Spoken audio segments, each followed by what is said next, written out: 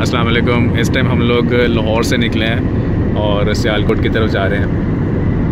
और आज हमारी फ़्लाइट है पाकिस्तान से उज़्बेकिस्तान। उज़्बेकिस्तान ताशकंद में हमारा हमारा पंद्रह दिन का स्टे होगा और उसके बाद इन हम लोग जद्दा के लिए रवाना हो जाएँगे। इंतहाई खूबसूरत मौसम हो रहा है और बहुत ही मज़ा आ रहा है। आप लोग देखिएगा मेरे साथ आगे वीडियो। इन आप लोग इन्जॉय करेंगे।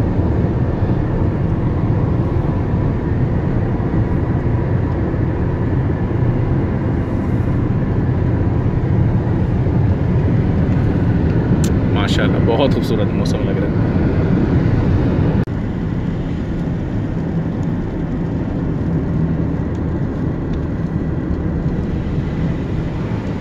अभी ठीक है?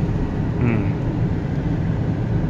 गाड़ी तेज रखे हैं वो मैं गाने की बात कह रहा था। अच्छा हाँ, हाँ गाड़ी तेज रखे हैं शायद गाड़ी के बाद। गाने की था